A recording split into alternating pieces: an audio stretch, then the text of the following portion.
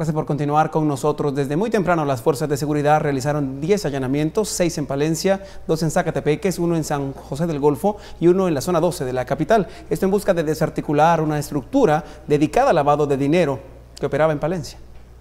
Los 10 allanamientos a cargo de la Policía Nacional Civil y el Ministerio Público tenían por objeto ejecutar órdenes de captura de trabajadores públicos que obtuvieron dinero de la Municipalidad de Palencia de forma ilícita, según las denuncias recibidas por la Superintendencia de Bancos a través de la Intendencia de Verificación Especial en la Municipalidad de Palencia sustrajeron dinero mediante una empresa constructora, haciendo retiros a través de cheques que suman 500 mil quetzales. Las fuerzas de seguridad capturaron a Boris Omar Salazar Herrera, José Estuardo Armiro Churuj, Julio César López Montenegro y Oscar Adolfo Ramírez. Todo eh, se realizó con la mayor normalidad del caso, se hicieron eh, despliegues de agentes operativos de policía y de investigadores a las 3 de la mañana, se rodean los 10 inmuebles, se asegura el perímetro para que a las 6 en punto, junto a fiscales del Ministerio Público, se estuviera ingresando esta mañana y eh, lograr los resultados importantes que tenemos a este momento. También incautaron dos revólveres, dos pistolas, 91 balas, tres torbas, cuatro tarjetas de circulación de vehículos robados y falsificadas y 20 mil quetzales en efectivo.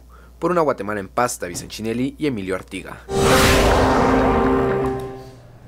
En uno de los inmuebles allanados este viernes por las autoridades, en un operativo donde capturaron al menos cuatro personas por lavado de dinero, los agentes policiales especialistas de la División de Protección a la Naturaleza decomisaron en la vivienda, ubicada en la Sexta Avenida y Tercera Calle de la Zona 1 de Santa Lucía, Milpas Altas, Zacatepeques, a un mono, guacamayas, un pavo real, loros y una iguana.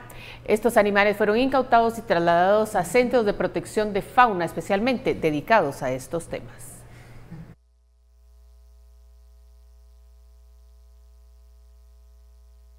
Al ex viceministro de Salud, Adrián Chávez, le sorprende porque el diputado Luis Hernández Asmitia duda hasta ahora sobre la contratación de 4.500 personas dada a conocer por el ministro Carlos Soto, revelando que eran digitadores sin computadoras.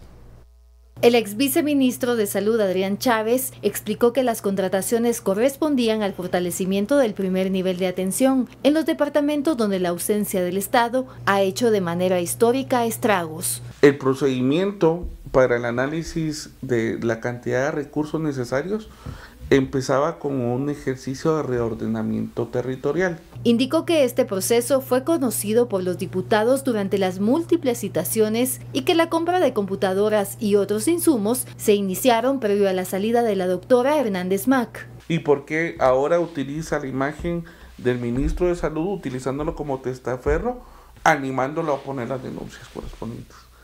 ¿Ya? Eso es algo que, que queda la duda. Y dos, porque el propio ministro eh, hoy por hoy hace alusión, por ejemplo, a que no habían computadoras, cuando todo ese proceso conlleva obviamente un proceso administrativo y conlleva tiempos. Los diputados le han pedido al ministro Carlos Soto que denuncie y rinda un informe de las contrataciones el próximo lunes. Por una Guatemala en Paz, Suseli Contreras y Daniel Ramírez. Y un fuerte sismo de magnitud 7.2 con epicentro a unos 600 kilómetros al sur de la Ciudad de México, en el estado sureño de Oaxaca, sacudió al vecino país este viernes, poco antes de las 6 de la tarde. El temblor alcanzó a los estados de Guerrero y Puebla. Hasta el momento no se reportan víctimas mortales ni edificios afectados. El nuevo temblor se registra cinco meses después del sismo que dejó más de 300 muertos solo en la capital mexicana. Los mexicanos volvieron a revivir el terror del fuerte sismo. En las redes sociales fueron publicadas algunas imágenes grabadas justo en el momento en el que ocurrió el movimiento telúrico. El mismo fue sensible en el occidente de nuestro país, específicamente en San Marcos. La Policía Migratoria detiene a más de 200 indocumentados en Los Ángeles, California. Estoy más a continuación. Hagamos las maletas a Rusia con la promoción Gano con LG.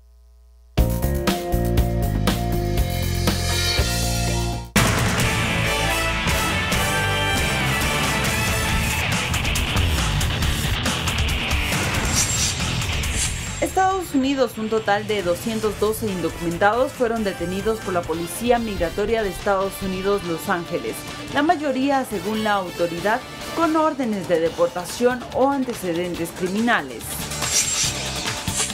Estados Unidos, la justicia inculpó a 13 ciudadanos rusos y tres empresas por su presunta injerencia en las elecciones y procesos políticos estadounidenses, según un comunicado divulgado por el fiscal especial Robert Mueller. Brasil, el presidente Michel Temer decretó la intervención del Estado de Río de Janeiro en el área de seguridad, por lo que el ejército tendrá a su cargo la tarea de luchar contra el crimen organizado. Israel, miles de personas salieron a las calles a pedir la renuncia del primer ministro Benjamín Netanyahu, por primera vez desde que la policía recomendara su acusación por fraude, corrupción y abuso de poder. Por una Guatemala en paz, Betsy Vázquez.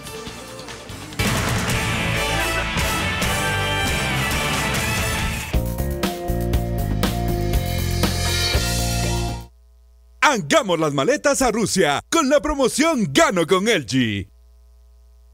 Vamos a hacer una pausa. Siga con nosotros.